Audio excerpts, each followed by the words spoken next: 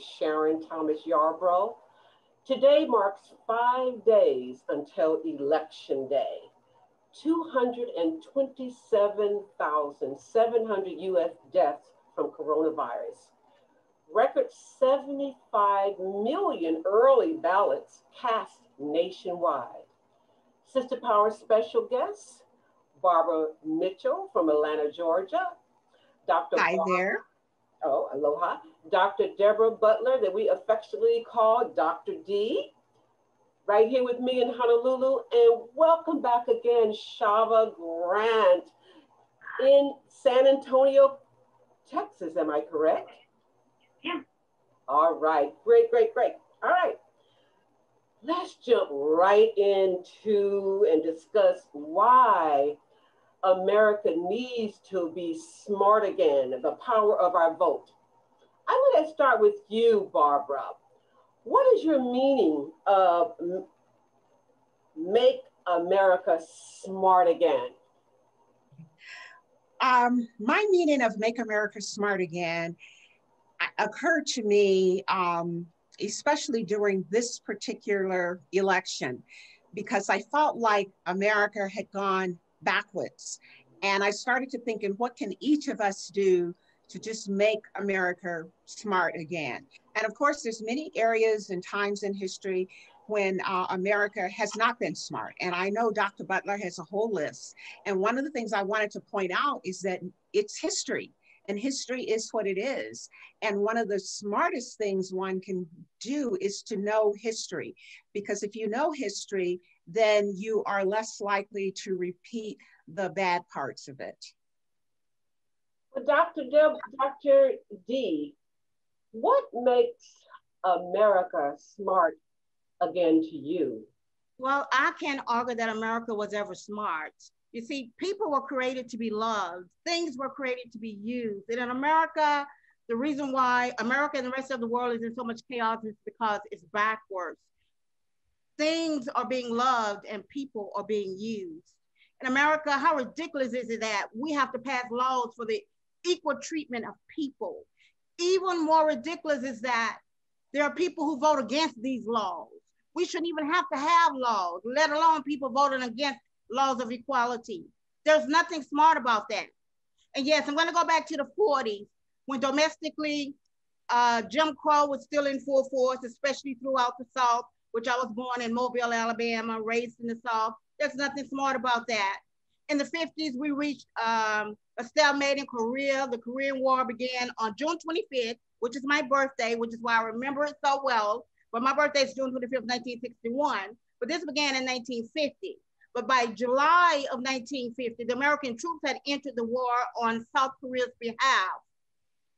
And then we have the 60s. In the 60s, we had the Cuban Missile Crisis. We had uh, John F. Kennedy uh, assassination, then a conflict in Vietnam that led to massive demonstration against the war. And the war is never smart with all the blood that's being shed. There's no, nothing smart about that. And then we have the 70s, the Watergate, uh, the oil embargo and the Iran hostage crisis happened. Nothing was smart about any of that. And then that brings us to the 80s, despite the Beirut Barak, um, the, the barrack bombings in Beirut um, that killed like 240 something United States troops, 40 times more than were killed in Benghazi. And despite the Iran Contra mess, um, I just want to say Trump has pushed the deficit to over $1 trillion. There's nothing smart about that, people.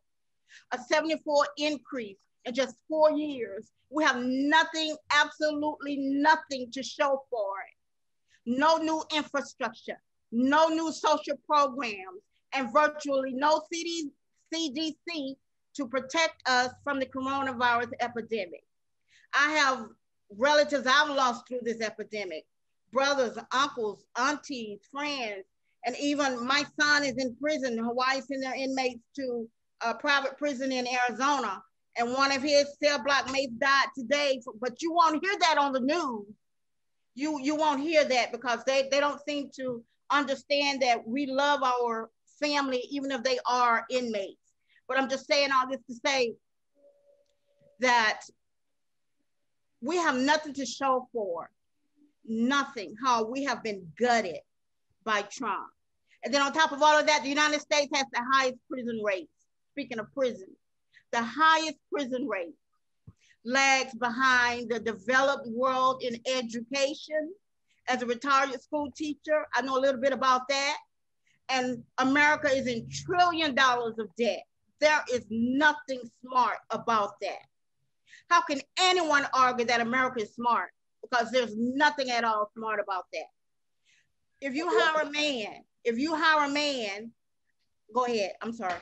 That's okay. okay. I mean, I'm fired up too. I, I understand. I, I, I, just feel you, and I'm loving the history lessons that you are giving to Sister Power viewers. But I want to move on, and we'll come back and, and, and speak with you, uh, Dr. D, to um, our guest again, who was here before two weeks ago, Chavah Grant. What is your meaning of Make America Smart Again?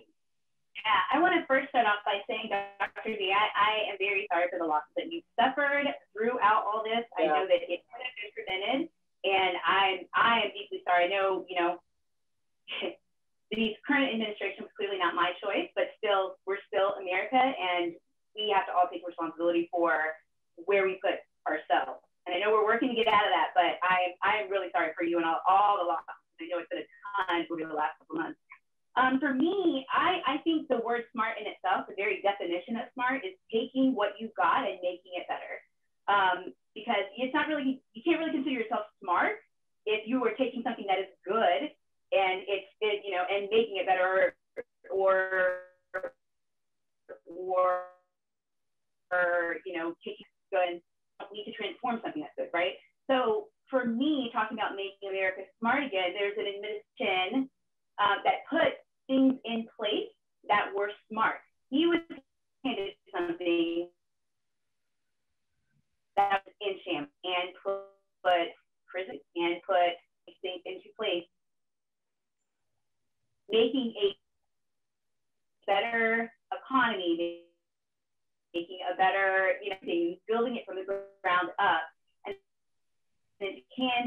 hand it, off shambles like they are right now. I feel like when we talk about making America smart again, we're talking about getting back to a place where we are actually building and not just adding to the deficit and adding to, you know, this pandemic is way out of hand. It's way out of hand. Other countries handle it so different. And we had the plans that were already in place to be able to handle this the way it should have been handled because we knew that it was coming. So when we talk about making America smart again, I, you know, I, I want to talk about getting in a new administration into place so that we can start to build again what has been torn down over the last four years. Yeah, we have some uh, pictures to show about the um, previous administration that, you know, we miss so dearly, of course. And, you know, and, and this picture says when America was great.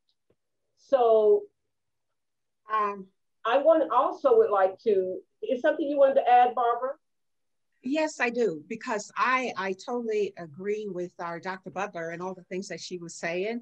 But I have this saying, it's like, okay, you know, all those things were not pretty, but we have to start somewhere. And they say, how do you eat a bear? One bite at a time.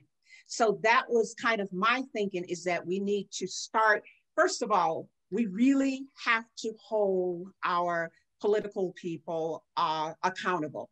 Now, we're all hoping, in, well, I shouldn't say all, but our group I know is hoping that it is Biden and Harris because then we have an opportunity. If that does not happen, I don't even want to think about what the bad part is. And my overall uh, thinking about this really started with updating the entire public education system, but that's a long story. It's like, what can we do now, each day, each of us? And I thought, you know, just being kind, having good manners, good manners. Please, thank you, excuse me. I have never had anyone say to me, thank you, please, excuse me. And I thought, you know, that's one dumb person. I've never thought that. So it's simple things that we can do to make us smart and to regain our respect around the world. And of course, we will be talking from uh, hopefully this on our next session about accountability because I think we have gone so far backwards because at least things were not perfect. but there was, I thought, some degree of respect for truth. Uh, even with voter suppression, it's like win by any means possible. When did it come okay to win by cheating? And the thing that got me is so many of them are okay with that. Hmm. So those are the kinds of things that we have to think about. We have to think about what truth means. Each of us have to think really hard and creatively. We all being dumbed down to some degree. You know, for example, if you want to take the phone, remember when we remembered all phone numbers? Now I remember three, if that. So my thing is let's start where we can start uh, to make a difference and reach who we can reach uh, politically or otherwise to try to undo the bad that has been done just within the last four years. You're absolutely correct. The power of our vote. And I just want to put this question out to, to you ladies, and I'd like to start with uh, Chavah.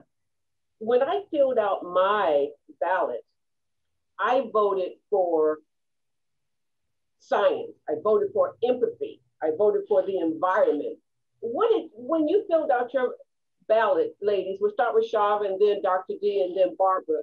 Tell me what your feelings were oh, at that time. You know, I, I really truly believe that we are in this um, place because people don't feel like they are being heard. Um, and I think that also there's a demographic that felt like they were always being heard. And now that there are other people that are getting fair treatment, they feel like they are now, their voices are now being suppressed.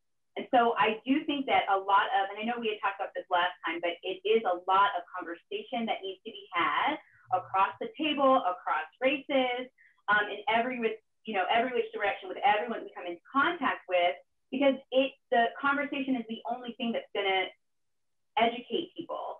Not talking at people or you know reposting you know information and all that stuff it's really the connection because i think that there is a big group of people that really felt the connection to this person is going to make sure that my voice is heard also because because other people were now getting um, equal treatment so um, oh my goodness I just I forgot my train of thought. Where was I going? Where were we? Where? Uh, that's okay. We'll come back. Let's hear what Dr. D had to say because what you're saying makes a lot of sense, Ashava. What when you filled out your ballot, Dr. D, tell me what were you feeling at that time? I said science and empathy. What are you feeling? What were you oh, feeling at that time? Actually, I would settle for just intelligence a lot of so-called intelligent people I know do a lot of dumb stuff. They break things and hurt people. They even end up in prison. Popes, presidents, dictators. They're all human beings. Kings are, are typically considered to be intelligent, but from time to time, they perform acts that are unconscionable, even evil. I would settle for intelligence because we don't even have that in the office right now. And the best way to prove and continue to improve your own intelligence is best found in the way that how you treat others. When you live and you treat people how you want to be treated, it makes for a better world. It helps the world a better place to live. So I voted for uh, kindness, respect, consideration, generosity. That's a good place to start.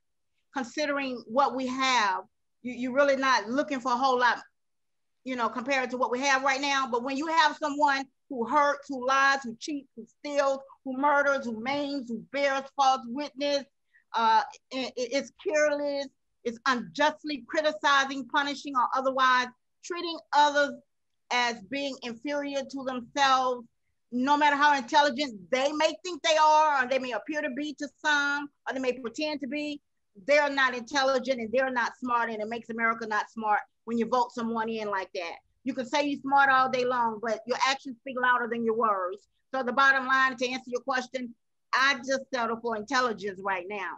All right, all right, Barbara Mitchell. Well, I will add to everything that has been said, and the top of my list really is empathy. You know, and I am agreeing that if you have to treat people with respect, and that is just null and void during this administration. Um, the top of my list really was empathy, and that covers a lot of things and, you know, intelligence. But I find that I guess I didn't think that didn't think that word necessarily because so many people they think they are. And I, I don't know i think that's why it was going back to education and and teaching in the school. I don't think they understand the meaning of intelligent. I don't think they understand the meaning of truth honesty. It's like none of that matters you know? I, I don't i don't think they know what that means anymore. And that's what's really scary. People have convinced themselves that they're intelligent. They've convinced, many have convinced themselves that they're very Christian and they don't understand that that means love. So it's all very confusing. So I do think we have to have um, conversations and try to break it down in third grade English. And I have this thing about the uh, five W's and one H to help someone understand who, what, why, when, and how. You can take any scenario and ask yourself those questions and come up with an answer of what you really think about it and what it is. It's very hard to rationalize around the truth and what is. It should be, but not during this last four years. Yeah, yeah. I just looked at one of my girlfriends on one of the threads, and she said that uh, I was asked, You're going to lose friends over politics. And she said, I'm going to lose friends over morals. Huge difference. Your thoughts, Chavah? Oh, I I completely agree with that statement. And um, yeah, I completely agree with that. It's it's definitely been a hard four years. You've definitely seen people's true colors, which I I definitely would not wish this year again on anyone, on ourselves. Let's hope that we can get out of this and, and never have to relive anything like this again. Um, but I, I, I definitely agree with that. And I think that, um, like I said, I think only conversations with the people around us are going to be what pushes the needle in the other direction. I'm hoping, I mean, we only have a few more days left. And so I'm really hoping that everyone has done what they can to touch the people that they know and that they love. Because there, it is very surprising the people that you would automatically assume have some sort of sense of morals and some sort of and, and actually listening to what's going on and actually paying attention and and making people be accountable for what they are actually saying. It's very surprising to see the people around that just, you know, do not, don't just flat out don't do that. So I would 100% agree, agree with that. It is totally about morals at this point. Yeah, it's all about morals. And I love the saying that Shirley Chisholm, if they don't give you a seat at the table, bring a folding chair. I love that. I love that too. And that's what we're doing. And and Debra, Dr. D, and Chavah, when we had our conference call earlier, you were talking about when you leave the country, when you would travel, that we're a laughing stock. United States of America is a laughing stock with this administration. Your views, Dr. D. Intelligence has uh, very little to do with IQ and far more to do with personal individual responsibility. The Bible says, by their works you should know them. 40% or more of all Americans think that Trump is doing a great job, even though this man has told Americans don't be afraid of COVID. Don't let it dominate your life. As long as you can take your private helicopter like Trump from your home to a hospital, to an even better hospital, you will do great. But the average American can't do that. It is no longer just embarrassing or absurd how stupid people that are not Americans see Americans as being who think this way. It's surprising that anyone in the country remains unconvinced that the world is flat. You can easily convince a third of all Americans that gravity is a hoax. Despite Trump, the United States is still the world leader. And if an ant were to bite President Obama or, or President Trump, or, or if a, his cat poop on him, the whole world is gonna know about it because it's gonna make national news and it doesn't really matter. People in other countries, yeah, they're laughing at Americans. They're laughing at Trump. They're laughing at Pence and they're referring to Trump as Lord of the Lies and Pence as Lord of the Flies. How sad it must be, believing that scientists, scholars, historians, economists, and, and journalists have devoted their entire lives to deceiving you, while a reality TV star with decades of fraud and exhaustively documented lying is your only beacon of truth and honesty. Just think about it on a personal level. If you were to hire a man to make your house great, and he hired his incompetent children, steal all of your money, give it to all his rich neighbors, let everybody get sick, kill your family, back over your mailbox, burn down your house, and then just blame everybody except himself. Would you hire that man again to make your house great? No, you wouldn't. But because no, Americans are considering hiring him again, con- Americans are considered foolish, arrogant, and people from other countries they're laughing at America because not just because of our gun culture and lifestyle and arrogance and foolishness, and then there are countries, there are countries too in the world that that envy the United States. There are countries they either they either envy it or they hate it. Yeah, Barbara, your thoughts. Barbara, your thoughts. I just well, I just think with all of this, you know, we are we are so aware of, and that 40% is really what was scary to me. I can understand one you know person being off and even many of the republicans but to have 40% of americans that is very troubling and that's why we have to really think of how we can change that uh, I don't think we can change that mindset because to me, it's what's in your heart. And no matter what anyone says, you vote for that person who represents something within you. Now, you can lie all day and say that's not true, but that is true. There's parts of Trump that that 40% identifies with. So we have to work uh, in every way we can to try to reach, let's just say, Biden and Harris and see what we can do to help them to be accountable because there'll be a lot of chaos, but we're really going downhill if we don't change that. And um, I just think our voices just speak louder and hopefully uh, we can figure out a way for them to reach um, all of the people, as Charlotte was saying earlier, a lot of that group feels like they were left behind. Yes. And yeah. actually and truthfully, a lot of them were. A lot of us, I feel in many ways, I was, you know, I don't feel, I definitely have not gotten fair treatments in reference to many whites, you know, all my life, but I certainly think that America is worth saving because I feel like we have a chance to make it better. And yeah. that's the thing. A lot, that, a lot of that 40% says, well, and I think I'd read something that Trump's niece said the other day. It's like, well, if he goes down and a lot of the people with him, they want to burn the whole thing down. And that's just not something that is acceptable. Yeah. You know, we we have a chance to make it better. And we just have to try to find that way. It starts with each of us.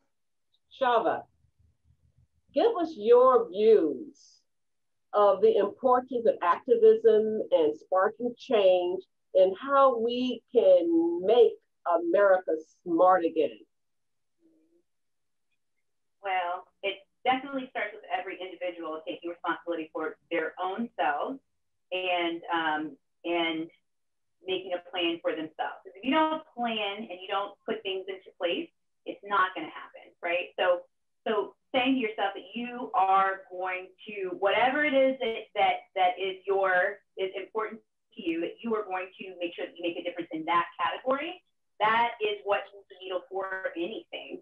Um, and then outside of that, just touching the people that are close to you in a way that, in a very conversational way, where you are not also educating yourself on why other people feel the way that they do um, for a specific thing so that you can become a more well-rounded person and be able to have these conversations with people, educate your children on not only your views, but just other views and empathy um, for other people. So I feel like that is, it always starts with you first, um, taking that responsibility for what you are doing and not doing and, and who are you, you are talking to and um, touching and not touching. Oh, all right. Well, Dr. D, give me your viewpoint. I would say, well, even though the United States is not smart, it's not a saint, and it has its share of bad deeds and wars and bloodshed, but it still rules the world. If only there was better leadership in America, only God knows what America could do if it would do in terms of the success of this nation and better quality life for the Americans. So I would just, uh, in conclusion, I would say for Americans to make it smart, try being informed, not just opinionated. And until America can see that and understand that and believe that and receive that and accept that, America will never be smart. All right, Barbara, any wisdom for people young and old who are fighting for social change? I think that um, all of the um, protesting that was done, and there were some older, but there was a lot of young, that has made a lot of difference. Even uh, corporations are trying to figure out, talking honestly with their employees to see what they were doing that were racist. And they're able to have somewhat honest conversation. As far as i know that has never really happened I mean, if you did that, you thought you were going to get fired. Now they are openly wanting to discuss that. They're actually doing surveys to see what their percentage of minorities are in their country. So I think bringing attention to uh, what is going on is really a plus. And I think Charlotte's generation, I believe, will be able to correct a lot of the mess that we've made. At least that's what we're hoping for. So we have to work together. We have to give them our wisdom, and they have the energy to uh, take it to the next level. Well, thank you. In closing, I want to thank Dr. D. I want to thank Chavah. I want to thank Barbara Mitchell, and we will continue this conversation. And I want to thank Sister Power viewers. Thank you for spending your time with Sister Power. Vote early, vote safe, vote now, use your power and vote. Aloha.